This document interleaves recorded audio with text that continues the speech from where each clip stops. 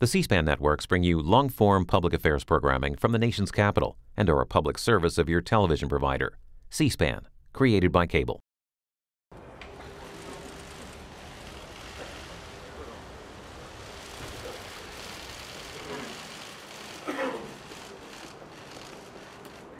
Good morning. Everybody, please have a seat.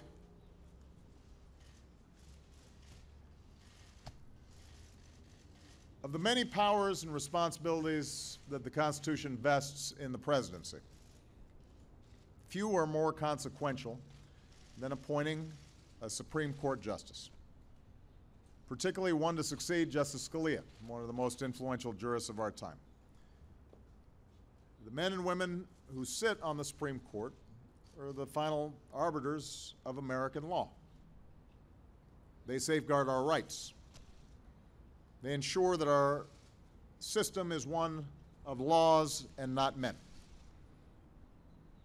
They're charged with the essential task of applying principles put to paper more than two centuries ago to some of the most challenging questions of our time. So, this is not a responsibility that I take lightly. It's a decision that requires me to set aside short term expediency and narrow politics so as to maintain faith with our founders and perhaps more importantly with future generations. And that's why over the past several weeks I've done my best to set up a rigorous and comprehensive process. I've sought the advice of Republican and Democratic members of Congress. We've reached out to every member of the Senate Judiciary Committee, to constitutional scholars, to advocacy groups, to bar associations representing an array of interests and opinions from all across the spectrum. And today, after completing this exhaustive process, I've made my decision.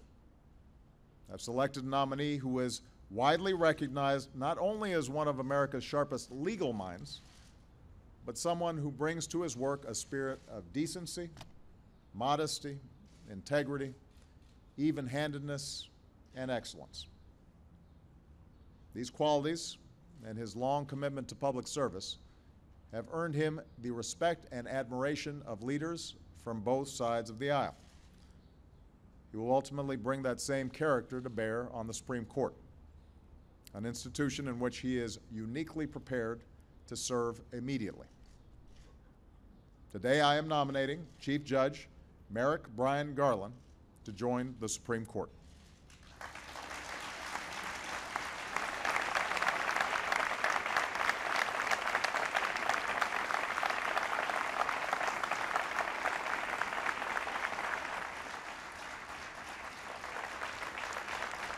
Now,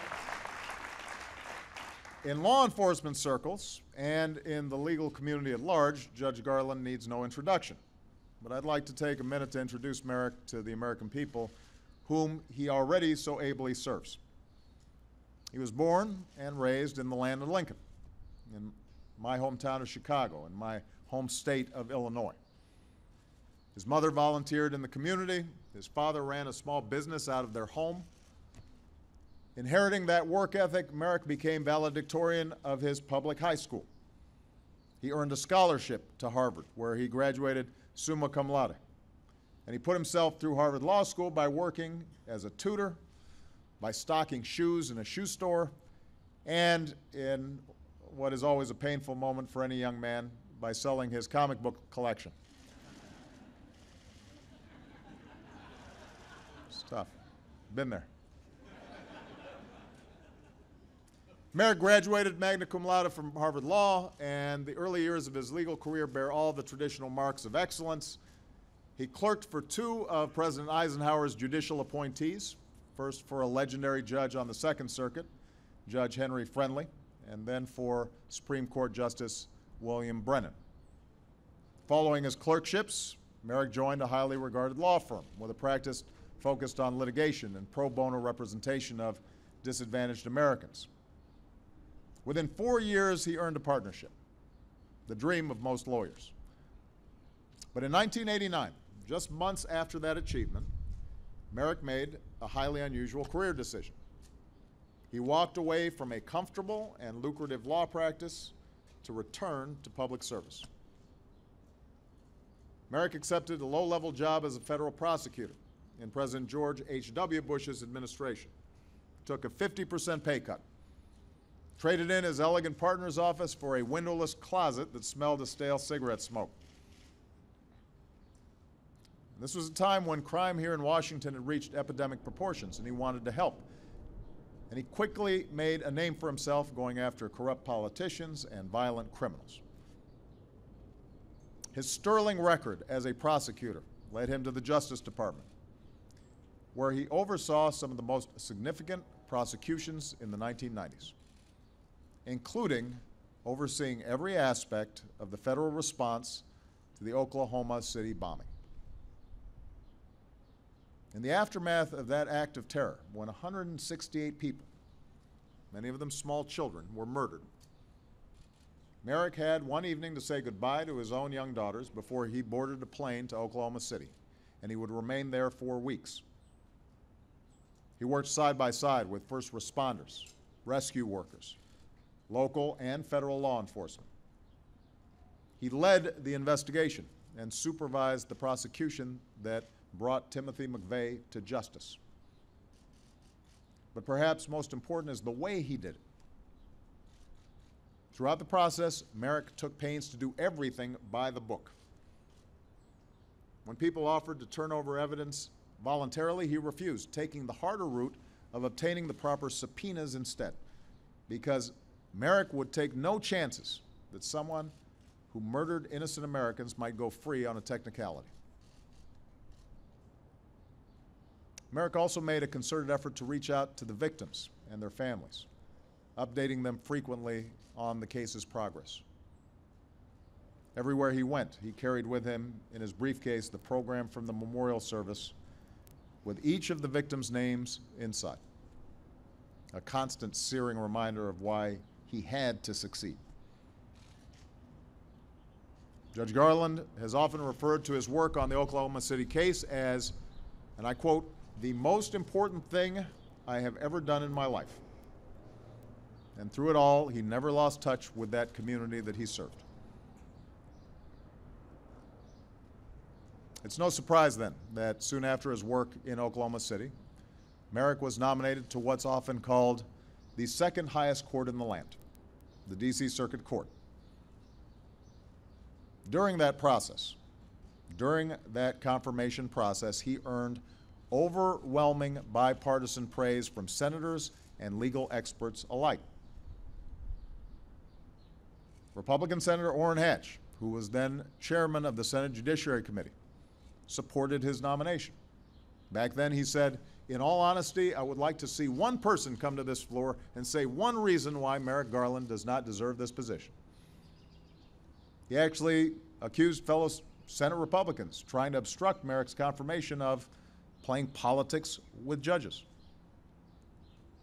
And he has since said that Judge Garland would be a consensus nominee for the Supreme Court, who would be very well supported by all sides, and there would be no question Merrick would be confirmed with bipartisan support. Ultimately, Merrick was confirmed to the D.C. Circuit, the second highest court in the land with votes from a majority of Democrats and a majority of Republicans. Three years ago, he was elevated to Chief Judge. And in his 19 years on the D.C. Circuit, Judge Garland has brought his trademark diligence, compassion, and unwavering regard for the rule of law to his work.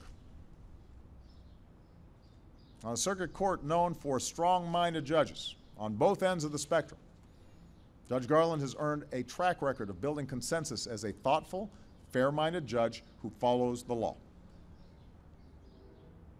He's shown a rare ability to bring together odd couples, assemble unlikely coalitions, persuade colleagues with wide ranging judicial philosophies to sign on to his opinions. And this record on the bench speaks, I believe, to Judge Garland's fundamental temperament, his insistence that all views deserve a respectful hearing his habit, to borrow a phrase from former Justice John Paul Stevens, of understanding before disagreeing, and then disagreeing without being disagreeable. It speaks to his ability to persuade, to respond to the concerns of others with sound arguments and airtight logic. As his former colleague on the D.C. Circuit and our current Chief Justice of the Supreme Court, John Roberts, once said, anytime Judge Garland disagrees, you know you're in a difficult area. At the same time, Chief Judge Garland is more than just a brilliant legal mind. He's someone who has a keen understanding that justice is about more than abstract legal theory, more than some footnote in a dusty casebook. His life experience, his experience in places like Oklahoma City, informs his view that the law is more than an intellectual exercise. He understands the way law affects the daily reality of people's lives in a big, complicated democracy and in rapidly changing times. And throughout his jurisprudence runs a common thread a dedication to protecting the basic rights of every American, a conviction that in a democracy, powerful voices must not be allowed to drown out the voices of everyday Americans. To find someone with such a long career of public service, marked by complex and sensitive issues, to find someone who just about everyone not only respects but genuinely likes, that is rare. And it speaks to who Merrick Garland is, not just as a lawyer, but as a man. People respect the way he treats others, his genuine courtesy and respect for his colleagues and those who come before his court. They admire his civic mindedness, mentoring his clerks throughout their careers, urging them to use their legal training to serve their communities. Setting his own example by tutoring a young student at a Northeast DC elementary school each year for the past 18 years. They're moved by his deep devotion to his family. Lynn, his wife of nearly 30 years, and their two daughters, Becky and Jessie. As a family, they indulge their love of hiking and skiing and canoeing and their love of America by visiting our national parks. People respect Merrick's deep and abiding passion for protecting our most basic constitutional rights. It's a passion, I'm told, that manifested itself at an early age. And one story is indicative of this. It's notable. As valedictorian of his high school class, he had to deliver a commencement address. The other student speaker that day spoke first and unleashed a fiery critique of the Vietnam War. Fearing the controversy that might result, several parents decided to unplug the sound system, and the rest of the student's speech was muffled. And Merrick didn't necessarily agree with the tone of his classmates' remarks, nor his choice of topic for that day, but stirred by the sight of a fellow student's voice being silenced, he tossed aside his prepared remarks and delivered instead, on the spot, a passionate, impromptu defense of our First Amendment rights. It was the beginning of a lifelong career as a lawyer and a prosecutor and as a judge devoted to protecting the rights of others. And he has done that work with decency and humanity and common sense and a common touch. And I'm proud that he'll continue that work on our nation's highest court. I said I would take this process seriously, and I did. I chose a serious man and an exemplary judge, Merrick Garland. Over my seven years as president, in all my conversations with senators from both parties, in which I asked their views on qualified Supreme Court nominees, and this includes the previous two seats that I had to fill. The one name that has come up repeatedly from Republicans and Democrats alike is Merrick Garland.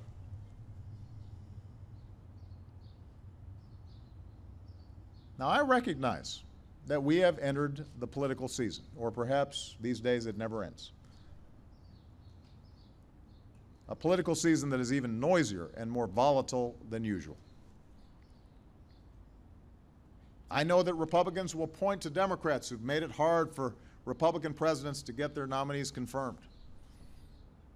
And they're not wrong about that.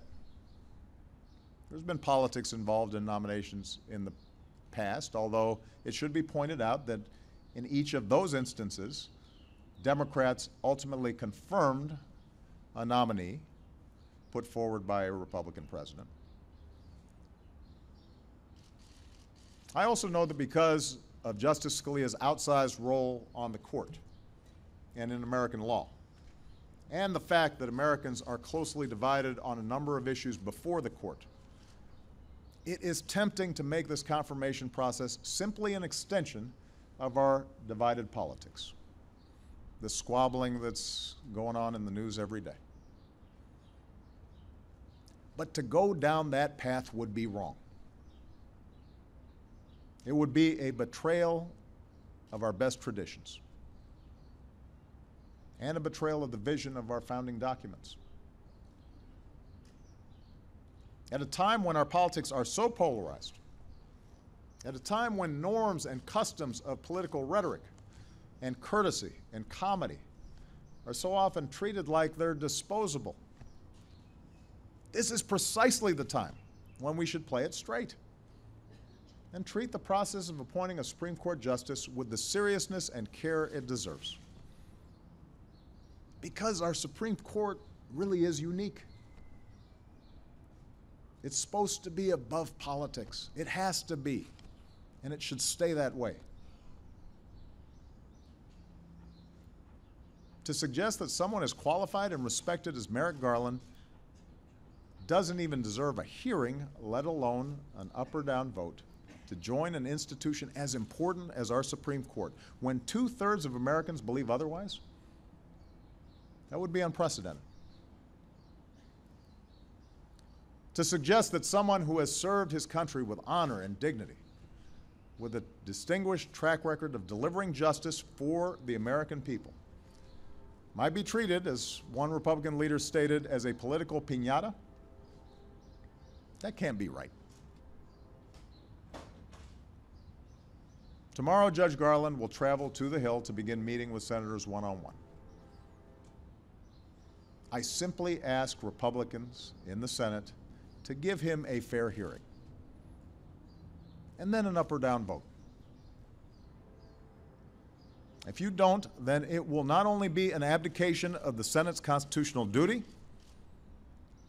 it will indicate a process for nominating and confirming judges that is beyond repair. It will mean everything is subject to the most partisan of politics. Everything. It will provoke an endless cycle of more tit for tat and make it increasingly possible for any president, Democrat or Republican, to carry out their constitutional function. The reputation of the Supreme Court will inevitably suffer. Faith in our justice system will inevitably suffer. And our democracy will ultimately suffer as well.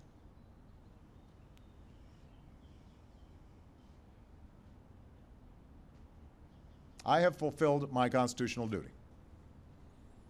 Now it's time for the Senate to do theirs. Presidents do not stop working in the final year of their term. Neither should a senator. I know that tomorrow the Senate will take a break and leave town on recess for two weeks. My earnest hope is that senators take that time to reflect on the importance of this process to our democracy. Not what's expedient, not what's happening at the moment. What does this mean for our institutions, for our common life?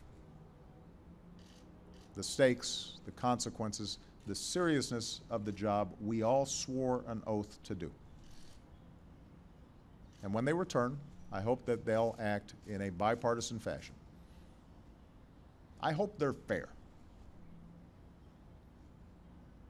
That's all. I hope they are fair, as they did when they confirmed Merrick Garland to the D.C. Circuit. I ask that they confirm Merrick Garland now to the Supreme Court so that he can take his seat in time to fully participate in its work for the American people this fall. He is the right man for the job. he deserves to be confirmed. I could not be prouder of the work that he has already done on behalf of the American people. He deserves our thanks, and he deserves a fair hearing. And with that, I'd like to invite Judge Garland to say a few words.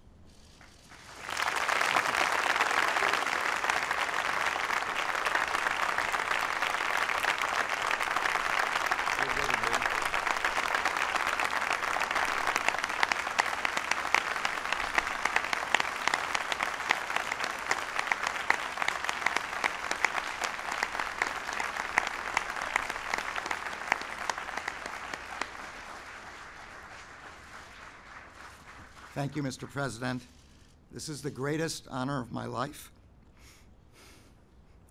other than Lynn agreeing to marry me 28 years ago.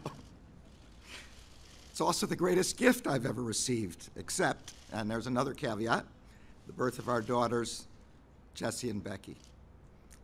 As my parents taught me, by both words and deeds, a life of public service is as much a gift to the person who serves as it is to those he is serving. And for me, there could be no higher public service than serving as a member of the United States Supreme Court. My family deserves much of the credit for the path that led me here. My grandparents left the Pale of Settlement at the border of Western Russia and Eastern Europe in the early 1900s, fleeing anti Semitism and hoping to make a better life for their children in America. They settled in the Midwest eventually making their way to Chicago. There, my father, who ran the smallest of small businesses from a room in our basement, took me with him as he made the rounds to his customers, always impressing upon me the importance of hard work and fair dealing. There, my mother headed the local PTA and school board and directed a volunteer services agency all the while instilling in my sisters and me the understanding that service to the community is a responsibility above all others. Even now, my sisters honor that example by serving the children of their communities. I know that my mother is watching this on television and crying her eyes out. So are my sisters who have supported me in every step I have ever taken. I only wish that my father were here to see this today. I also wish that we hadn't taught my older daughter to be so adventurous that she would be hiking in the mountains out of cell service range when the president called. It was the sense of responsibility to serve the community, instilled by my parents, that led me to leave my law firm to become a line prosecutor in 1989.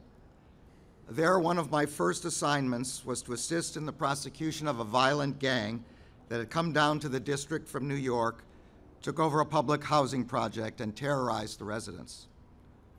The hardest job we faced was persuading mothers and grandmothers that if they testified, we would be able to keep them safe and convict the gang members.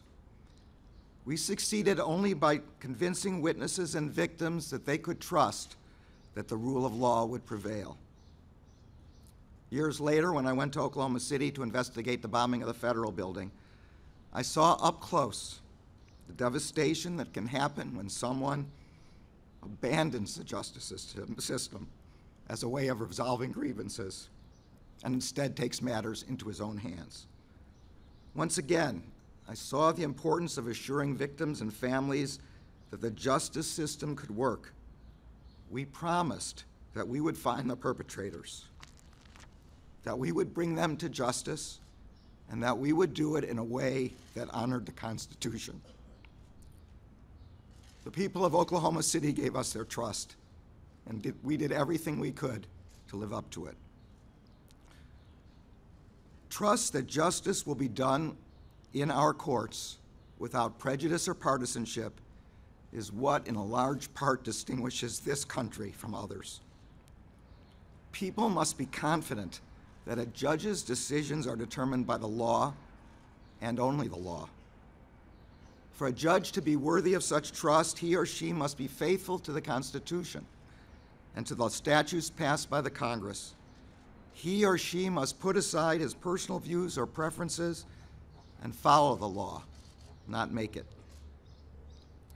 Fidelity to the Constitution and the law has been the cornerstone of my professional life. And it is the hallmark of the kind of judge I have tried to be for the past 18 years. If the Senate sees fit to confirm me to the position for which I have been nominated today, I promise to continue on that course. Mr. President, it's a great privilege to be nominated by a fellow Chicagoan. I am grateful beyond words for the honor you have bestowed upon me. Thank you. Thank you. Congratulations, Mayor. Good job. Good job.